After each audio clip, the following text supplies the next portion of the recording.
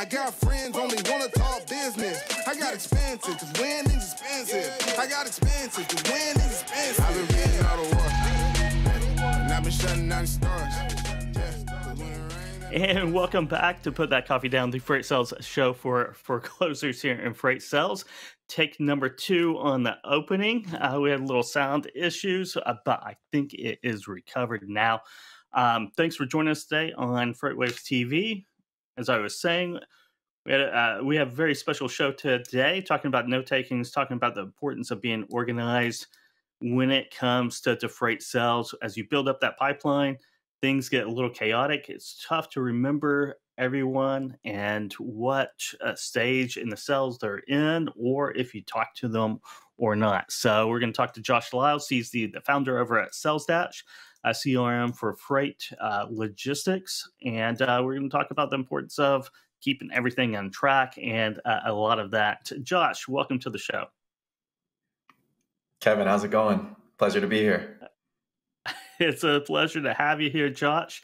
Um, let's uh, first talk about a little bit about your background and how you uh, how you got to SalesDash. That kind of that aha moment when uh, you decided to drop everything and pursue something that uh, you know uh, that, that that everyone is unsure about. It's very risky whenever you drop everything and you go out on your own.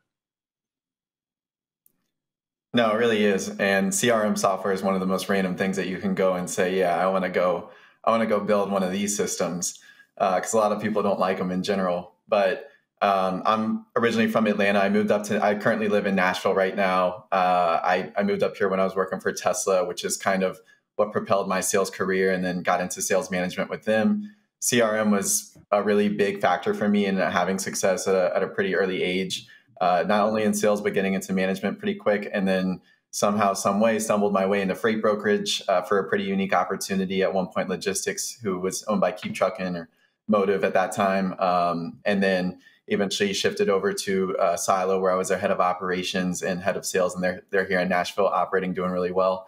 Um, but the reason why I, I've always been wanted to just go the entrepreneur route and start my own thing and sort of after my you know initial experience in brokerage crm was one of those things that i just felt was one more of my uh, uh, more of a strength for myself um, and something that a lot of people struggled with because a lot of times they don't like them because of the complexity and just all the little nuances that go into it data entry and that kind of stuff so um, it was you know getting to a point where hey if this could be simplified where salespeople can understand it better but managers can also coach their teams more effectively because I just did a lot of outside education when I was at Tesla, and that I thought helped me when I transitioned over to the brokerage world uh, have some success early on. I, think one of the, the, the things in, in, freight that you don't see in, in all industries is, when you're talking about CRM is the ability for other other team members to, to be able to, to view and understand what is going on on the fly, right? Uh, because you might be out of the office, you might be uh, working on some other uh, customer or some other fire. Uh, it is logistics, of course. So I, I, think in a lot of other industries, it's it's really for you and your sales manager, and not not too many other people have to be involved in in that system. But in freight, I think everyone has to ha- use the, the, the same system, not as in a, a CRM. Of course, you're going to use the same CRM, but the same mm-hmm. steps, the same kind of uh, philosophy or methodology, or everyone else is going to get confused as, as they, they go in and look.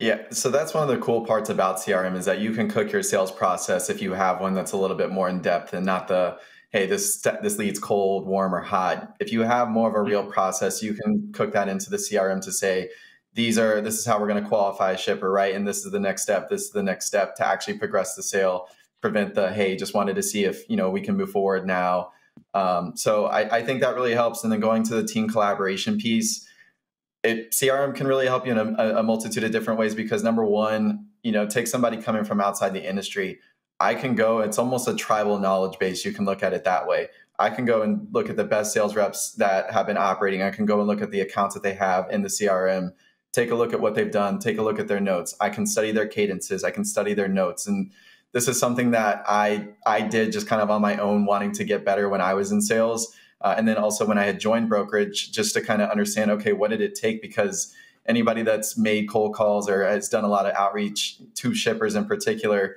it it requires so many different touch points. And so a lot of people go back and forth on how many calls do I need to make, how many emails, and then what's the what's the time span in between each call, each email, voicemail, anything of that nature that that needs to be had. And you know, you want to build some kind of cadence, but it's always good to sort of study and say, okay, maybe I maybe I shorten this cadence and do it a little bit more in spurts and more of a sprint, and then maybe I need to expand it out and, and spread it out a little bit more over time, so that way you're not overly persistent and coming off as nagging to a, to a shipper and you know getting blocked.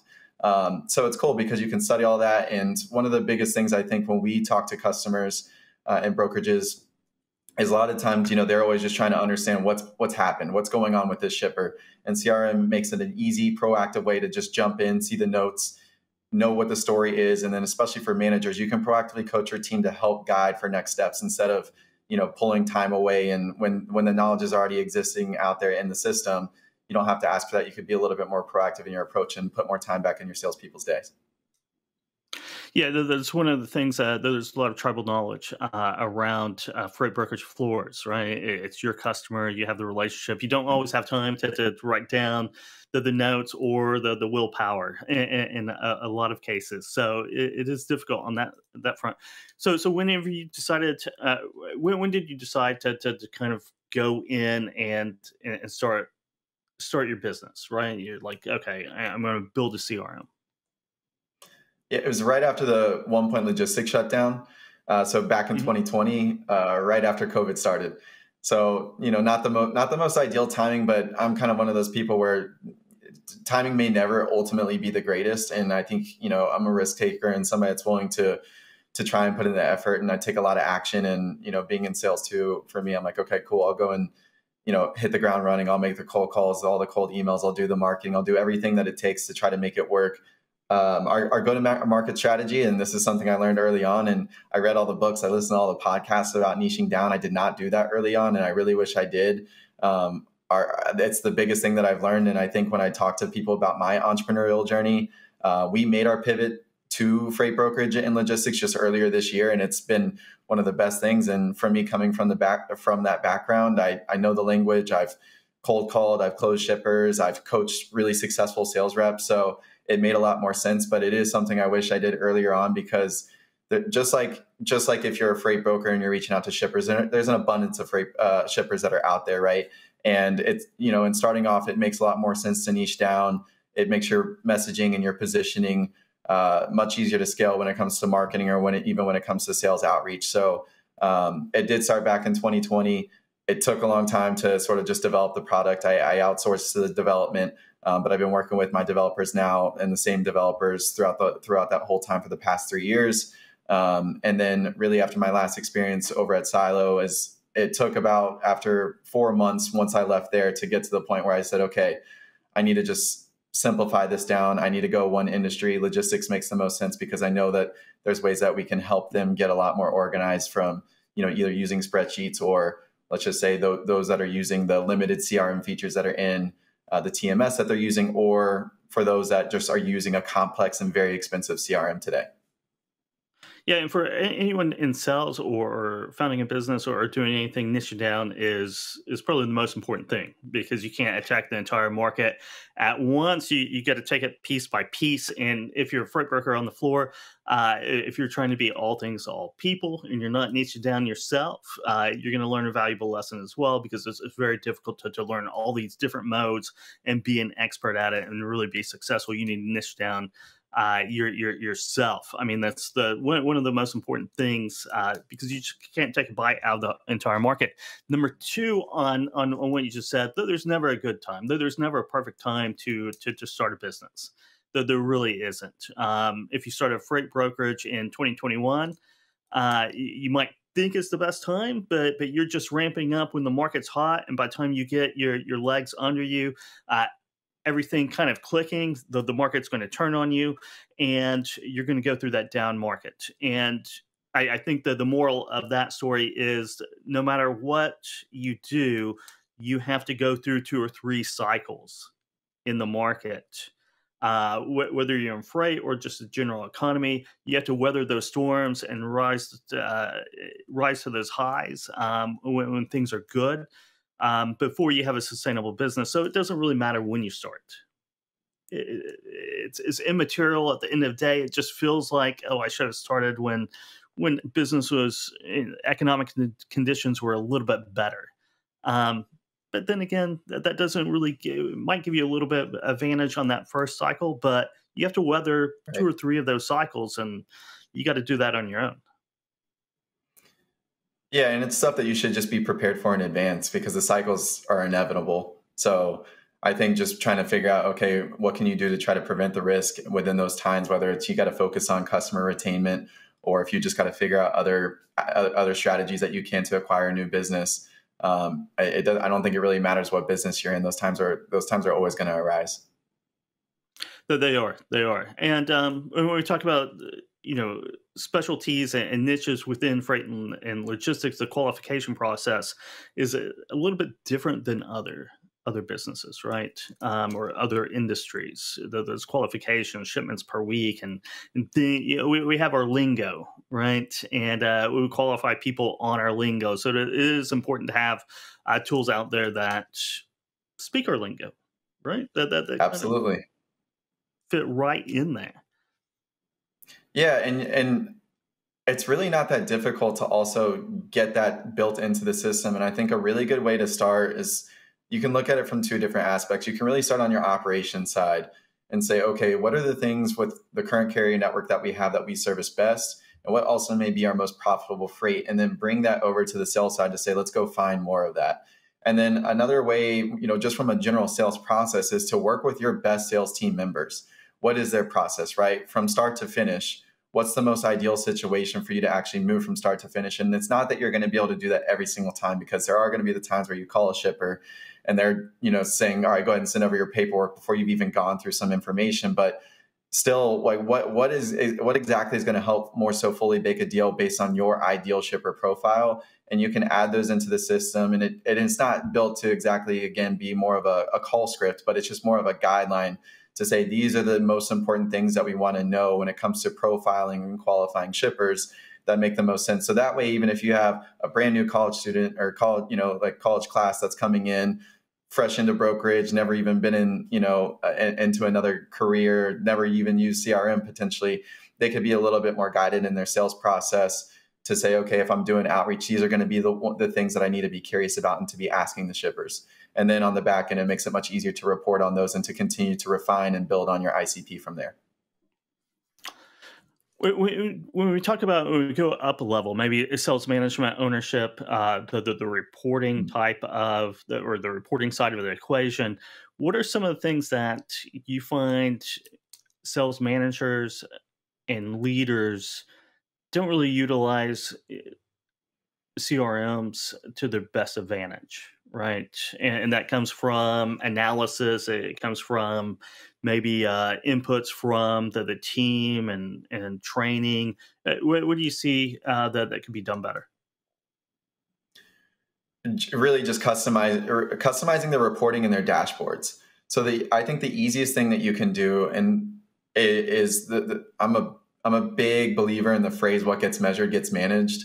I talk about this on my content online all the time and I, I don't think it's a really healthy habit to find a metric, talk about it one time in a month, or talk about it once a quarter, run a bunch of reports on it, talk with your team, go through a sprint, and then build around it. Right? It, it's really important to align for your sales organization. What are the most what are the most important KPIs and metrics that are going to help drive more shipper sales for new relationships or even just the existing business that you have, and the easiest thing for sales managers is those specific metrics. You want them on your dashboard to be able to view at a, at a macro level in a very quick time period, you know, at the beginning and end of your day. So whether it's for, you know, the daily metrics or the weekly metrics, monthly, quarterly, whatever it may be, you know, you want those on your dashboard to help drive the right behaviors from your sales reps and then also spread what those best practices are all across your organization. So what I have often found, whether it's from the organizations that I've I've been at, um, or just you know observing other sales managers, or even with the brokerages that we talked to today, and you know even some of our current customers that now use Sales Dash, um, is really just building out your dashboard to make it very simple and to say what are those things that are important for you. So you know, a lot of it is going to be again to help drive better behaviors out of the salespeople. Make how can you try to make them more persistent and stay in front of shippers, right? So maybe a simple report that says, "Hey, let's like keep it on the salespeople's dashboard for all the shippers that haven't been contacted in 14 days or or 30 days." Um, you know, you want to keep track of pipeline generation if that's something that's important for your most qualified opportunities to help segment. You know, if you've got 100 to 150 accounts and shippers in each specific salesperson's name, what are the five to 10 that are the most qualified ones that you really care about that, you know, may actually move a shipment for the first time this month or next month, right? And then from there, you guys can all strategize together in terms of what you need to do to get that across the line to try to work to get that first shipment in. Um, those are the right conversations that you want to try to drive. But to me, it always starts with the, the dashboard visibility, right? What are you actually what are you actually measuring, and are you just taking what comes out of the box for the other CRMs? Because uh, if you are, again, that's not really customized for freight and it's not for the typical sales process behaviors metrics that do help drive shipper sales. Um, just the, the smallest tweaks to your dashboard can really make a big difference when it comes to actually driving better behaviors to get better results. You're right about that. You know that, that dashboard, that that easy access to, to come in and, and, look at the data and see what's happening, what's not happening, what needs to happen, uh, and, and, keeping an eagle eye on that if if you're in management is, is, very important. I think on the flip side too, you know, uh, in a sales rep role, if if I I, I, I the, the best way to word this, I, I guess, is if if you're in if you don't need a CRM to to um, or any kind of organization, let, us say, to to manage your pipeline, it's way too small. It's not nearly as robust as you need to be successful because um, when, once you start building the pipeline, uh, you're going to get disorganized. You're, you you can't keep it all up yeah. your in, in, your head, and it's a good feeling, right? And When you're like, I I, I, need to go look this up because I can't remember when I talked to this person or who that person even was. But uh, that, that just means you have a robust pipeline. You have a lot of things going on, which hopefully means you have a lot of freight moving. Absolutely. And I mean, you just got to think about everything else that you're doing on a day in and day out basis. But there's a lot of brokerages, at least historically, that always wanted, you know, 75 plus dials, 100, 125. And I think every organization, and I've been seeing, it's been cool to see a lot of conversation online recently around some of those traditional methods to just absolutely pound the phone versus more strategic, research based uh, prospecting methods that I, have seen a lot more conversation around, you know, going against some of those traditional ones. But yeah, even if to me, if you're making over 20 activities a day, right, or even 30 outreaches in a day, you're, you're talking about over 100 in a week. And over the course of a month, that's over 300, 400 at an extreme minimum and to just remember all those little details because a lot of times in freight it is the little details that go a long way that help you actually develop that relationship over time. And you don't want to create a poor customer experience where you don't have that information captured from even if it's a one to two minute call because even in a two minute call if you're rapid fire with your questions and strategic about it you can capture some really insightful information just even in that small time period. Um, but if you don't have that you're asking the same questions well that that like just put yourself on the other end. If you're the buyer consumer or let's just say you know in this case you're the shipper um, you're then talking to somebody that is actually not really detail oriented. And i always say like if your doctor did that right and just treat it as almost like if you're a doctor and, and, and going through a lot of those practices and taking notes and asking the right questions you want to make sure that that's documented so you can build on that information to actually work towards that shipment. That's efficiency. That's professionalism within sales. That's actually progressing the sale. But if you're asking the same questions you can create a frustrating customer experience where they're going to think, okay, I may not trust this person with my freight because they're they're not they're not really listening to what I'm saying and they're not building on that information from there. Uh, what's your style, especially in a market like this uh, that, that's pretty soft? Is it 100 phone calls a day, uh, rapid fire, or is it 20, 25, do a little bit of research? I mean, what's your style? Yeah so here's the thing like when it comes to sales, I mean, you put math behind it, and um, especially at OPL when I was there, you know, the the one thing you want to try to do is it it shouldn't. I, I find that a lot of organizations will say, hey, it's going to be 50 calls or 100 calls. I tend to lean a lot more on the personalization more than anything else because at the end of the day in freight, you know, one relationship can change everything for you. And so if you can get very deep, I think that's really important. Um, so I'm I'm lean much bigger on the quality, but at the same time, if you're not getting pickups and you know if you're just getting a ton of voicemails, well then of course your call volume is going to be higher. But that's this that to me that's also the same thing where 125 calls doesn't matter because that's going to tell me that your talk time is low. You probably asked bad questions. You were just talking about yourself. You weren't listening, and so you know as much as you can like if you could get 10 really quality calls a day that would be fantastic right? But it's hard to live in that world because of how competitive it is, it is in freight. So i always lean more on the personalization you know trying to get drive up a little bit more talk time if you can on the phones because to me that's always going to indicate your behaviors of asking open-ended questions curiosity getting the shipper to actually open up about their information you going through discovery and qualifying um, is always better. So I, I, typically always lean more towards that, but I do think instead of just saying, hey, across the org, this is what's expected, you should also look at it from a sales reps aspect because there are going to be some sales reps that just have larger books and maybe a little bit more tied into operations or they just don't have time to make as many calls or let's just say they're just better on the phones right they, they can get better connects they're they're, mm-hmm. they're better when it comes to their actual uh, open-ended questioning and you know in the beginning of calls and all that stuff to where they don't need to do that and they can be a little bit more hands-on with their customers. So it should be i think a good healthy balance but for the newer reps that that goal should always be higher because they're going to learn faster from more activity. But you should always be reassessing that activity at the end of each day and at the end of each week because of how much you're going to have to say okay what worked well? What didn't work well and one of the easiest things you can do is okay if there's a question that worked where the shipper just really opened up on the phone document that question and ask that question to the other ones and then just keep building on that list little by little from there yeah i, I think i think it, it, it's a seesaw it goes back and forth between you know quantity because it's a numbers game though there's so many shippers out there Always. there's so many freight brokers out there you, you just you got to call a lot of people to, to get any results so on that side of the equation then the mm. quality um but there's a hybrid in there, right? You want to get make as many quality calls as possible. And what is that? And I, I think it goes back to talk time. But in a lot of ways, uh, you, you, said it before, Josh, is uh, you can only manage what you can measure. And it's difficult to mm-hmm. manage talk time um, on the phone. I, I know there's, there's, analytics out there that, that can do that. Um, but but it's it's one of those interesting balances, right? It's not the 125 mm-hmm. calls, it's it's not the 10 calls. It's somewhere in the middle there where maybe it's 40 quality calls, maybe it's 30 quality calls. Whatever it is, if you can max that out, you're going to max out your talk time and good things will happen. Yeah, absolutely and some of the phone systems, you know, the Nextivas of the world and and the other ones that are out there, if you're using one of those phone systems, they they can track talk time. But just even sometimes monitoring your connects, you know, one of the things that you can do if you're a sales manager, let's just say, is if you're tracking results for activities in your CRM. I, I personally do this myself for you know like meeting shows and meeting no shows for demos, um, or even just my connects. But you know, for us, like in Sales Dash for you could track all your made contacts and then have that on your dashboard to say, okay, here's everybody that we talked to yesterday or today. And as a sales manager, you can review those notes just from one report and it lives on your dashboard and it's very easy to access and review.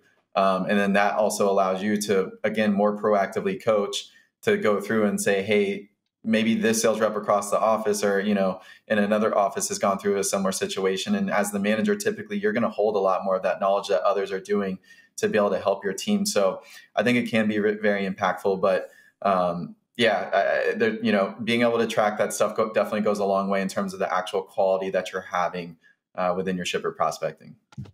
It does. It does. And Josh, thanks for uh, dropping by, put that coffee down today. Uh, it's been a pleasure as always. How does our audience reach out and learn more about Sales Dash and, and yourself? Yeah, so you can find me on LinkedIn. Uh, name is Josh Lyles. Feel free to reach out, shoot a connect, uh, reach out over DM. And then our website is sales-crm.com. You can go on there, uh, check out any of our different features that we have. You can schedule a demo. I'll be the one that hosts the demo, so I'll be able to talk with you. Um, and you can also try it for free for free, free for 14 days. And if you do that, I'll be sure to reach out and just check in and see what your needs may be. Um, but LinkedIn or, or just our website are always one of the easiest ways. You bet. Thanks again. Thanks again, Josh. Thanks, Kevin. Great to see you. Talk to you soon. And that was Josh Lyles. He's the founder over at Sales Dash CRM. You can go check them out. He just explained how. And um, on the audio side, we have a few audio episodes out. Dr. Mark Monera over at Supply Chain Fitness and Jeff Booth at Opendock talking about the headache of scheduling and a few more coming out. So you can like, subscribe wherever you download your, your podcast and you catch us here every week. But until next time, let's put that coffee down. I got friends only wanna talk business. I got expensive, cause winning's expensive. I got expensive, cause winning's expensive. I've been reading all the war. And I've been shutting down the stars.